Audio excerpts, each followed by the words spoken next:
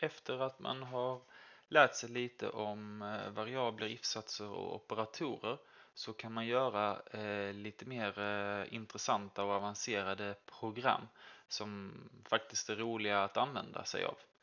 Och för det här videon så tänkte jag göra ett projekt där jag visar er hur man kan skapa ett frågesportspel som kanske användaren kan få poäng och som kan vara roligt att testa sina kunskaper emot. Ehm, så jag byter namn på mitt projekt just nu till eh, Frågesporten eh, då får jag ju, glömma alltid hur man namnger den här, där ja. Frågesporten. Så. Ehm, så min tanke är, låt mig göra några eh, to-dos här också. Eh, skapa ett spel till användaren som får den som eh, ger användaren olika frågor slash eh, matematiska problem som denna skall försöka klara av. To do.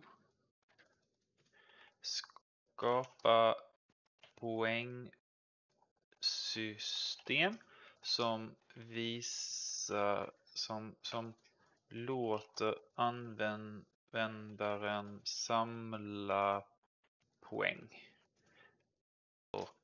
I slutet kan man få se hur mycket man lycka, lyckades samla.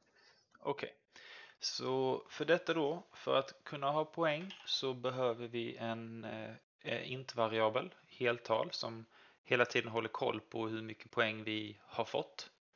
Ehm, och vi döper den här till eh, poäng. Och vi börjar ju med noll poäng, för det är ju logiskt. Därefter så kanske vi vill eh, välkomna vår spelare. Så vi gör en system out printline där vi skriver Välkomna till frågesporten. I detta spel kommer du att få ett antal frågor som du ska, ska svara på. Och sen så säger vi en till här. Eh, lycka till. Och sen är vi en till. Um, fråga 1. Vem är den bästa fotbollsspelaren? Då kan jag säga 1. Zlatan två... Eh, Messi. Och eh, vi vill också ha en eh, string-variabel som är svar. Den ska alltså hålla det svaret som användaren eh, skriver in.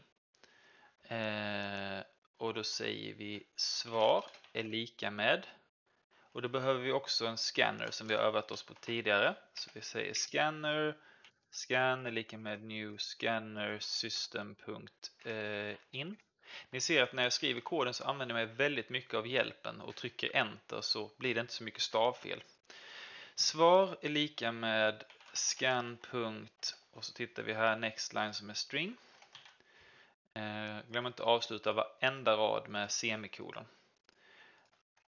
Så här får vi svara och det vi vill göra här det är att vi nu med en if-sats vill titta om svar är lika med eh, Zlatan. Um, och då är Zlatan en string så vi får inte glömma att eh, ha situationstecknena.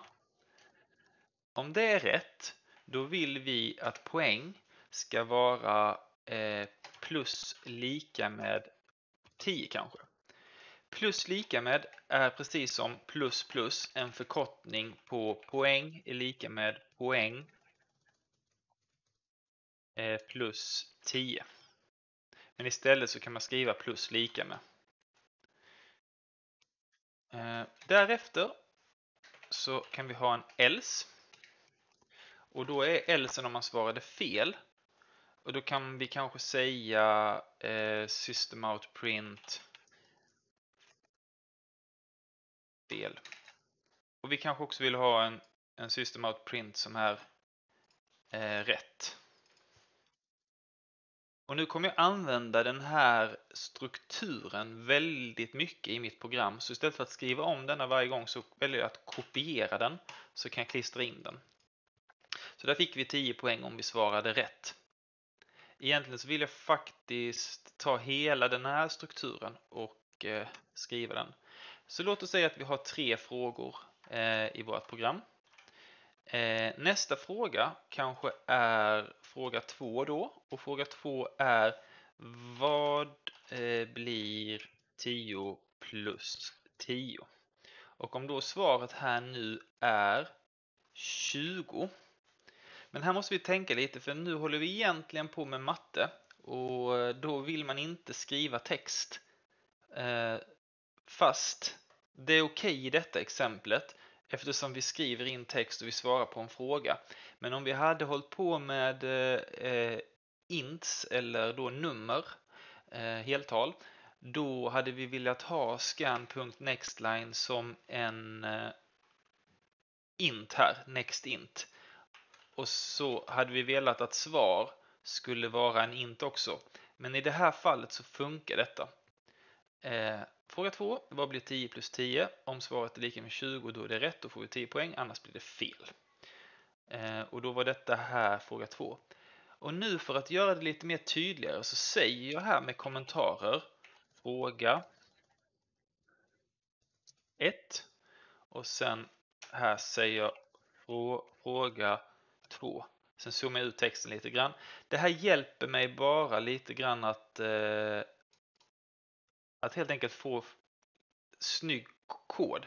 Allt eftersom man får mer och mer kod så behöver man tänka på hur man positionerar och ger ledtrådar till programmerare och till de som använder programmet så att det blir lätt att följa koden. Om man flyttar allting så här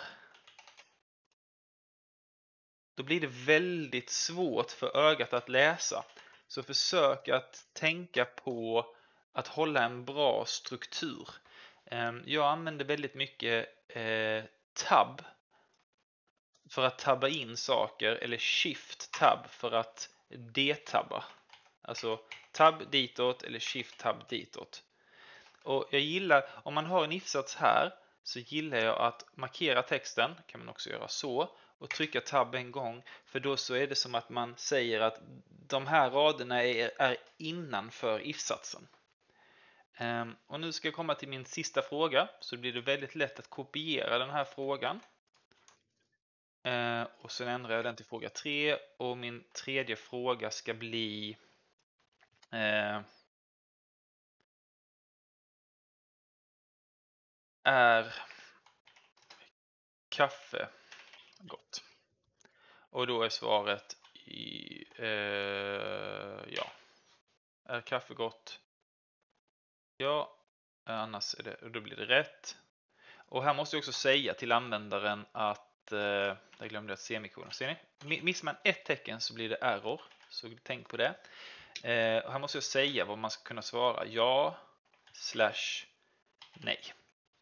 Annars kommer användaren skriva något, någonting konstigt och då kommer det bli fel för den. Och i slutet så tackar vi användaren för att den har spelat vårt spel. Eh, tack för att du testade frågesporten. Eh, eh, du lyckades samla och här plussar vi på poäng till eh, poäng. Eh, du lyckades samla eh, och sen så här skriver vi poäng. Så, och här har vi hela programmet. Eh, så detta är frågespotten. Vi kan ju testa att spela den. Ehm. Så lycka till! Välkommen till frågesporten. I detta spelet kommer du att få ett antal frågor som du ska svara på. Lycka till! Fråga 1. Vem är den bästa fotbollsspelaren? Och då säger vi eh, Zlatan. Och det var fel. Och då kan man tänka just nu så här, det var ju konstigt. Varför är eh, detta här fel?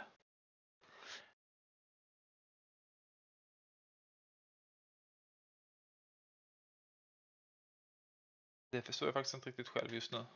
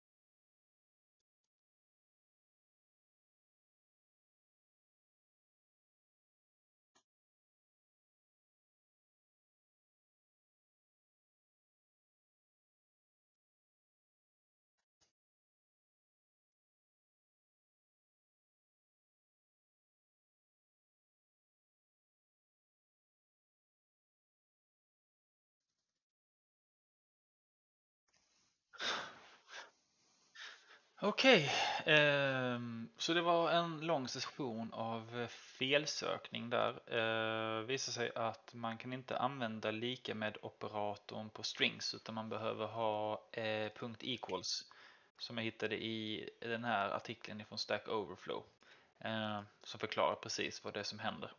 Ehm, så bra för er också att veta. Eh, jag är ganska ny inom Java. Jag har hållit på många år med C-sharp. Eh, men det är fortfarande vissa saker som jag glömmer bort här i Java. Eh, eftersom jag bara hållit på med det i eh, en månad. Eh, men ja, eh, felsökning är en del av programmering så get used to it. Men nu ska jag försöka se här. Nu fortsätter jag med videon. Eh, jag kommer spola förbi allt det här eh, felsökningsbiten som är en del av programmering också. Och som man också måste bli duktig på att söka sig fram till information. Och man kan inte fastna vid det första svaret om det inte hjälper en vidare. Um, Okej, okay. så om svar punkt equals. Det är så vi tittar om en, en string, alltså eh, stringvariabeln svar, om den är lika med det svaret eh, som vi har gett den. Eh, se vad om jag har gjort rätt här nu. Som om svar equals eh, och där ska det inte vara svar för det är ju rätt utan här ska det vara Zlatan. Så vi testar en gång till här nu. Så vi kör. Eh, Zlatan. Det är rätt. Och sen så testar vi att göra fel. Så vi skriver eh, Messi. Och det är fel. Okej. Okay. Eh, då behöver vi använda samma punkt equals på varje svar här. Istället för dubbla likamässtecken. Eh, så och så. Och sedan likadant på eh, denna.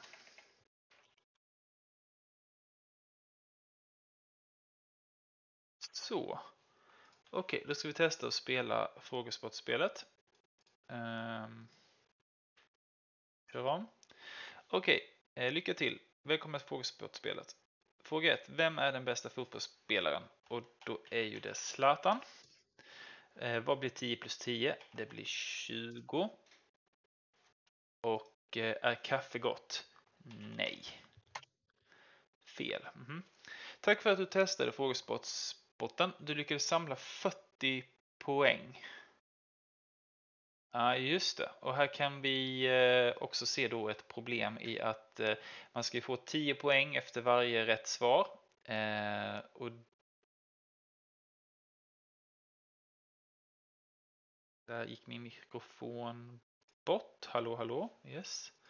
Så man ska ju få 10 poäng efter varje rätt svar och då borde det här bli eh, 10. Sen borde det bli 20. Ah, och jag har ju, när vi gissade innan så plussade plussade på så att vi behöver ta bort de här extra. Jag gav för mycket poäng helt enkelt. Så nu testar vi igen och det är ofta så här att man kör sin kod, testar vad som går fel, försöker ta reda på vad det är som går fel, testa igen, kör. Vi sätter ett hela, hela tiden ett, ett fram och tillbaks eh, mus, råtta och kattspel så att säga.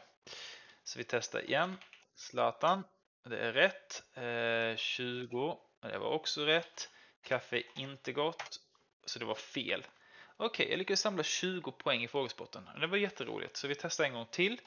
Zlatan, det var rätt. 20, det var rätt. Ja, det var rätt. Och där fick jag 30 poäng. Yes. Så det man kan se här, här har vi ett eh, program som är lite mer eh, dynamiskt och, och, och eh, utmanande och, och beroende på hur jag eh, spelar spelet så kan det gå bra eller dåligt för mig vilket gör det att det blir liksom lite mer spännande. Och man kan göra ett frågespel men man kan också göra väldigt många andra typer av spel på det här sättet där man använder sig av variabler och if-satser. Ehm, yes, så tack så mycket för den här eh, videon eller det här projektet. Eh, lycka till! Hejdå!